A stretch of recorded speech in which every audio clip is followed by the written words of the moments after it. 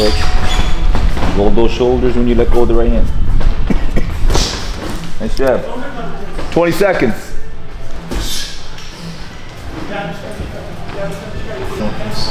Okay. Stay short. Okay? Yeah. Very nice. You can do that all day. Keep mixing up the stiffness on the jabs to the body.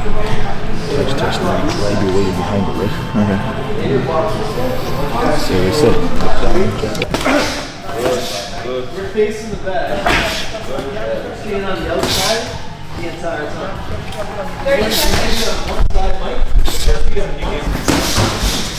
So- is good to counter. Counter then, yeah. Come in with two jabs, Ryan. Let's go. Step in. Good. Touch, touch a limb, touch a limb, touch a limb. Then you drive into him. So you gotta just roll under it, keep those hands up. You, you try to fix it by staying down, right? Deep breaths. Great work. So you land in the ring. Yeah. That's good. That's good. A little more, uh, a little more elbow. Yeah, my thumb hit him. Yeah, a little more elbow and up and down. Yeah. A little more hips engaged. A little more shoulders forward. That's a killer shot. ਇੱਕ ਦੋ ਮਾਰਨਾ ਤੂੰ ਇੱਕ ਦੋ ਇੱਕ ਦੋ ਇੱਕ ਦੋ ਇੱਕ ਦੋ ਇੱਕ ਨਹੀਂ ਕਰ ਇੱਕ ਦੋ ਯਾ ਠੀਕ ਹੈ ਠੀਕ ਹੈ ਠੀਕ ਹੈ ਠੀਕ ਹੈ ਠੀਕ ਹੈ ਠੀਕ ਹੈ ਆਂਸਰ ਕਰਦਾ ਹੈ ਆਂਸਰ ਕਰਦਾ ਆਂਸਰ ਕਰ ਆਂਸਰ ਕਰ ਆਂਸਰ ਕਰ ਇੱਕ ਦੋ ਮਾਰ ਇੱਕ ਦੋ ਮਾਰ ਇੱਕ ਦੋ ਮਾਰ ਇੱਕ ਦੋ ਮਾਰ ਇੱਥੇ ਮਾਰਨਾ ਇੱਕ ਦੋ ਤੂੰ ਇੱਕ ਦੋ ਮਾਰਨਾ ਨਹੀਂ ਮਾਰਨਾ Dust in my nose. Is it bad? No. Just letting you know what's happening in there. It's not bad.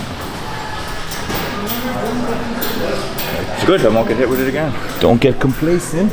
Yeah. Blocking.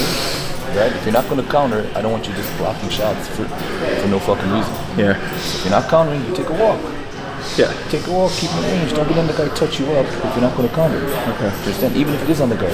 Yeah. There's no fucking need for that kind of stuff. Okay? The jab is nice. Yeah. But you got to keep on it. Don't get lazy. Yeah. Jab like crazy. I think it's really good when Ryan's here in town for TNT when he's doing his training camps because I think a lot of the members here when they're training and they can see Ryan in the background hitting the bag or today like he's here for sparring really ups the water level his intensity the way he warms up the way he trains it's a good example for everybody in the gym um, you know, socially, he's a guy who always says hello, walks into the gym, sees people all the time. You know, super nice guy. But I think uh, ultimately, his level of training is, is what sets the bar. Everybody sees how he works, and this, this is the standard. Everybody works up to that level. You know, it's one of those things that, uh, especially when you're working with uh, novice people or people from, you know, just first timers, being able to see something uh, on that level, like a professional working, is um, I don't know. It's pretty cool. It's pretty cool. We got so many different types of people.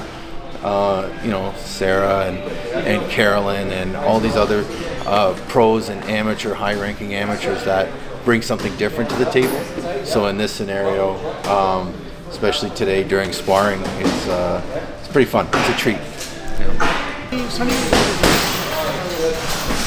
They want to go in, yeah? Here, Ryan, come on.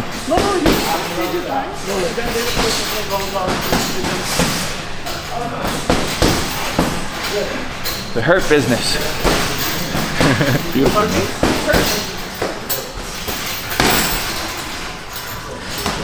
Right hand, Sarah. The right hand will come. He's just a tough motherfucker. You see him over here? That left hook? Came back from the dead. What the fuck? He's tough. Jesus.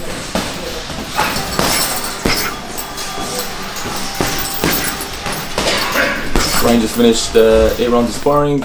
Probably the best he's looked this early in camp, but we need this now because all the fights are getting a lot more serious, bigger step ups, and more experienced guys. Been um, former national champ, just had his pro debut. Probably one of the best amateur style boxers in the country, who's developing into a really good body puncher. So for Ryan to really focus on discipline, establishing his own jab, and at times having a really good jabbing contest with one of the better amateurs the last few years in Canada is, is great for him. It's good for his confidence and to understand where he's at right now. Part of the fight game.